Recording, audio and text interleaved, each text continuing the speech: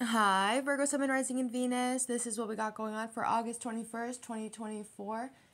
If you'd like to make a purchase, you can go ahead and do so at tarotbarbie.com. I got crystal sage incense, personal readings, and much more. Right away, the song came in. It's like, I be mm-hmm. Do you guys know the rhythm? Do you guys know how to read rhythm or beats or something? Mm-hmm, and the angels crying, and I'll be there. That's what I heard.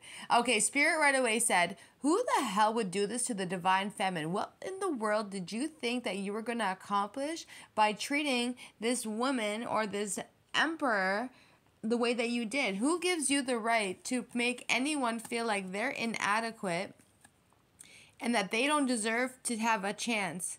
Who does somebody here think they are? This looks like an Aries, a Taurus, a Libra a Taurus, Virgo, Capricorn, a Pisces. Somebody here did wrong on the divine feminine. And I'm telling you right now that you did so bad on a divine feminine that this divine feminine is going to level up by a 100. And even though she might not be in a relationship with anybody, it's not the fact that she don't want to be in a relationship with anybody. She can be with whoever it is that she wants to be in a relationship with or vice versa. He, um, they choose not to lower their energy down to a vibration where if they, they, if they know what their value is, if they know what they deserve, they're not going to sit down and be stuck in a relationship with somebody who doesn't even know themselves. Hangman, Five of Pentacles. Uh, this person looks like they're going to try and come back towards you, but right now they might be stuck right now. I feel like Spirit got them by the ankles. Like, we're going to hang you up for a second for what you did to ours. So, the energy of three, you are protected at this time and forever, especially in love, you're protected. Spirit said, We're not going to let no Yo. Yo, Spirit's so we're not gonna let no dimweed. Yo, Spirit's so drunk. That was a man. He's like, we're not gonna let no dimweed come anywhere near you. so so your body is a temple, you are a temple. You are the divine feminine, divine masculine. You're not going to put your body in places where it don't belong. You're not gonna let people or mans or woman touch you, especially if they're already touching a million other people anyway. You are crowned with the crown for a specific reason. And I told you guys this a long time ago. I said today you guys are gonna be crowned. You guys are gonna notice that you were crowned in some sort of way. You were you will know that there was a crown placed on your head, whether it be through dreams, subconsciousness, visions, whatever it may potentially be. But make sure that you guys are gonna sit pretty at all costs. There's something about your garden. Your garden is flourishing. Spirits want you guys to spend time in nature, be abundant in nature, go for a walk because that's where your energy belongs. Because you guys are the energy of the Empress, you guys are immediately Mother Gaia. And if you're an Emperor, you're Mother Gaia still. So spend time in nature, go for a walk, be by the lake, do what you need to go. Don't go down by the river, put your feet in some sand, whatever it is, just spend time in nature because Mother Gaia would really, really appreciate you uh, hanging out with her for some time. She's it's she said, I've been waiting for you. Mother Gaia said, I've been waiting for you. The trees have been waiting for you. Wherever it is that spot that you used to always go to, there's a spot that you always used to go to those spirits that would be lingering around that area, they're saying, We've been waiting for you. Where have you been? So there's a spot that you usually go to. They want you to go back and say hi to them. Coming in with the King of Swords, the Page of Swords, the Five of Wands, there could have been somebody here who may have been having a conversation with you. Uh, it's kind of weird. I'm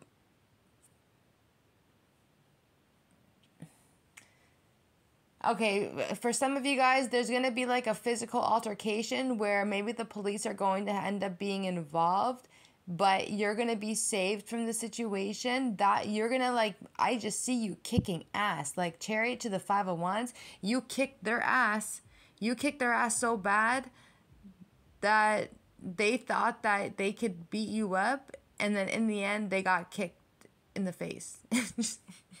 somebody got kicked in the face. I don't know if this is like whatever. But somebody, I do see that somebody here is going to be getting into a fight with somebody who doesn't really know how to fight and it's like you chose a battle that you shouldn't have chose like you should have it probably started off with like verbal communication and then one person just was decided to be like a little bitch about everything on the page of swords like one person speaking the truth the other one is talking stupid a fight broke out boom bullshit happens chariot and then everyone sees the truth for what it is. So then you get saved. You get like you get protected, like meaning that you don't go to the bin, you don't get charged, you don't get nothing. It will turn out to be the fact that it was actually self-defense, a chariot card. So you guys are going to be just fine in that situation if it does end up actually happening. You will be fine. No charges will be pressed on you because it was out of self-defense. I also see here that there's going to be communication between you and somebody who's going to be trying methodical, analytical, and they are trying to talk to you. But in the end, it's like you're very smart mouth. I see a smart ass mouth here, but spirits are trying to redirect you. So be so spirits are trying to redirect you when it comes to your communication, the way that you speak to people, because maybe people don't really know how to handle you and it could cause to ultimately cause a fight. If you guys are in a relationship with this person, saying that you guys are gonna fight with this person, make sure that you guys are not placing yourselves in any kind of domestic abusive relationship. And if it does ever get there, make sure you know how to get the fuck out of it. Ace of Swords. There is this Cancer, Pisces, Scorpio, Gemini, Libra, Aquarius who's been thinking a lot about you. This person wants to come back and they want to speak to you again after you guys fighting with each other. They feel a little bit defeated after what had happened, but at least now they know the truth of what's really going on and it's causing them to really think a lot. It's almost like this person's having visions, daydreaming, thinking a lot. And I think the last thing that they're going to want you to do, they don't want you to leave. They don't want you to leave. They don't want you to quit. They don't want you to walk away from them. They don't want you to leave countries, leave towns. They just don't want you to leave. But I think in the end, it's like it doesn't matter. You are gonna leave. Uh, Eight of Cups and the Ten of Swords. When the time is right, you will leave. So I think this person's like kind of feeling the energy that you guys are about to walk away or leaving. This person's really sad and they want to they they're thinking a lot and wondering if whatever had happened here is going to be the result of you actually wanting to kind of like make a move at the same time. I think you guys have been really strong in this situation uh, temperance card, strength card. You've been very strong. You've been holding down your position. You've been trying to do everything you can to control your emotions.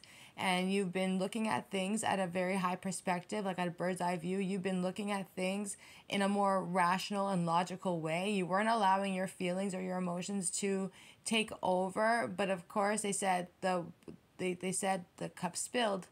The cup spilled the cup spilled because there's only so much of abuse that anyone can take in their life, emotionally, physically, spiritually, until eventually the cup will spill and then you're going to cry. And then you will cry. You did everything you can to juggle your emotions, right? It's like turning uh, water into wine. You did everything you fucking can, but the pain that these people were causing you were so fucking mean. They're mean, yo but you're strong and you're courageous and you're brave and you spoke your truth and you know how to work around people and these people know how to work with you. And this person probably wants to, like if this is a relationship take it as it goes for you guys. Relationship workship whatever the fuck you want to call it. At the end of the day energy is energy. So if these people are still wanting to sit down and they want to talk to you work with you this person does care about you a lot. King of cups they're trying to do something. They're trying to make a quick move but they're trying to be precautious about it. And it's almost like they're trying to separate everybody on the Three of Cups. Somebody here is trying to separate everybody.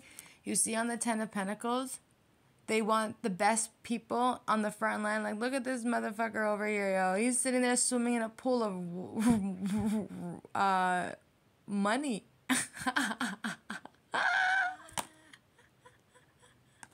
yo, this card is so jokes. You guys, oopsies. You guys see him? He's swimming in a pool of money. Fucking funny. Okay, so yeah, somebody here is trying to. This person's got a really big heart. Like this King of Cups, they got they they got a really big heart and they're trying to take action and move in a cautious way to separate the three of cups for, to the ten of pentacles so in, in order for this people here to create a family a home a st- stable money there are going to be a group of people who are going to have to be separated three people are being separated from each other right now because the only way to get something done or to separate the problem is if if they separate them in order to have the 10 of pentacles. You understand me? If you guys are going to go to some sort of gathering functional thing whatever the case is there is going to be a group of people who are going to be running their mouths talking a whole bunch of shit. Just act like you don't give a fuck and then just start doing your yoga just like how this woman is doing her yoga. She's like oh namaste Look at this one over here. She's in the back. She's doing a motherfucking handstand and her head is on the ground. uh, I felt like you guys were kind of like stuck in a way. I'm gonna read this energy in two different ways. I feel like you guys were stuck in a way on the Knight of Wands, the Death card in reverse. Uh, you kind of were like stuck. You didn't really know how to move forward, but the energy got completed with the World card. It's like the the, the universe came through for you and put an end. Um, and now spirits are going to trap your enemies with the snake for what they've done to you. You can work just fine in peace However, though, there's a decision that's going to have to be made on the Page of Cups and the Ten of Wands. You just feel like you're still carrying all this burden. And I think in the end, it's like maybe somebody here is kind of getting the hinge that you're ready to make a move, dip out, whatever the case is, Page of Cups. Uh, I feel like you've learned from this situation. I feel like whatever you guys had going on while you're in this situation, you've already planted something else especially with the judgment card. Judgment is being called in on this. You've already planted something else and you don't see it yet because it's far away, right? You just don't see it yet. I also see that you guys are just tired of everyone's negative shit and bullshit. It's really affecting you, but you are being redirected. Um, with the Ten of Cups, your most thing right now would be that you want to just simply be happy, but you're just having to stuck in a situation that because you don't really know how to come out maybe some of you guys are in a position of the Six of Cups and the Nine of Pentacles. It's like you have to make a decision between two different homes, or you have to making a decision between two homes, having to move from a home, or you got a few kids and you got to sort that out. Maybe you're just really busy right now because you don't have anyone else supporting you with the Nine of Pentacles, so it's making things a little bit hard for you. So you guys look like you're going to be seeing a new home coming in very soon, and you might end up actually taking it. I also see here too that you guys are stars, limelights. You guys are literally limelight, spiritual limelights, maybe YouTube, TikTok, wherever you guys go on the platforms, but it is saying that you are, in fact, a star. You are a celebrity.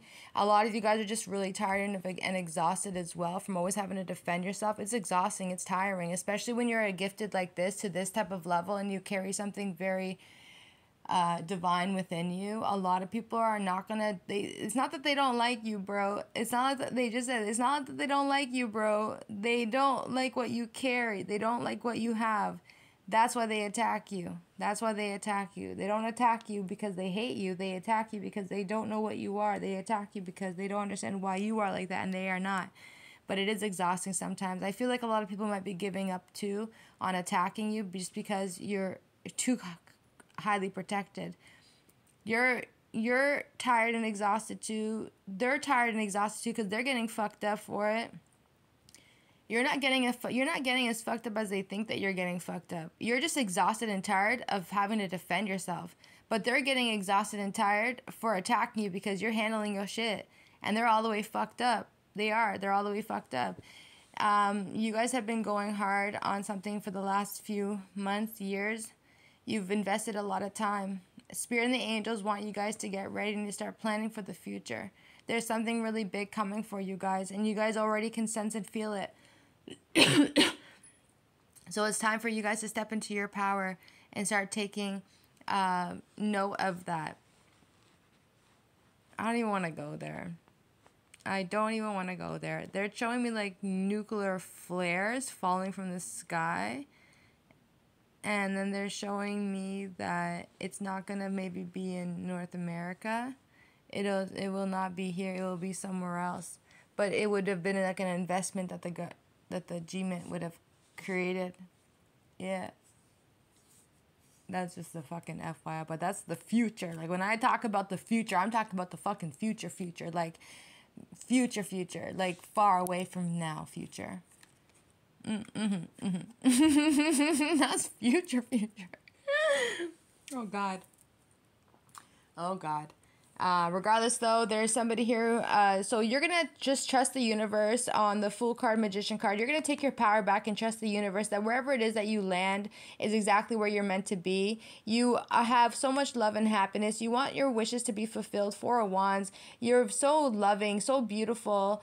Uh, you want to create a peace and harmony in your life where you're gonna have love in your life, especially encounters with other people. It is time for you guys to move forward, but you're moving towards the Justice card and also the Sun card. You're going directly into happiness, wealth, happiness, peace, tranquility, justice, all that you want.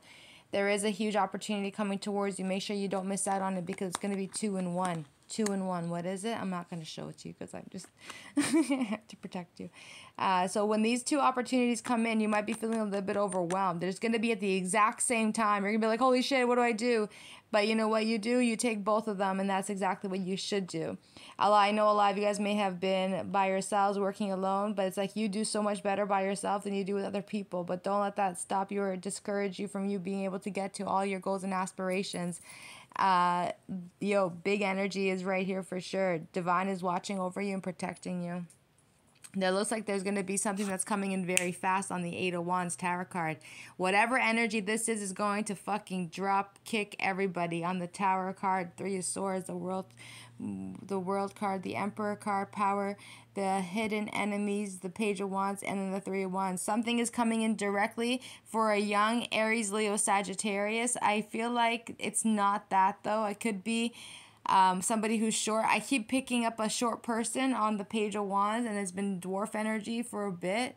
But I don't even know what to tell you guys at this point. Something big is coming in, and it's going to just come smacking somebody, and it is going to be very hurtful. This person has to take control over the situation for all the lies and the deceptive energy that was created. I don't think someone's going to want to be able to see themselves on the Page of Wands, so they just might actually pack up their shit and fucking leave without really uh, admitting to anything on the moon card. So this person's been watching everything and they've been holding back and they see that you're going through a lot and they don't want this cycle to continue to go this way. Let me start off with something else now or should I just do a part 2? Oh, I'm just going to uh part 2 they said. Okay, bye.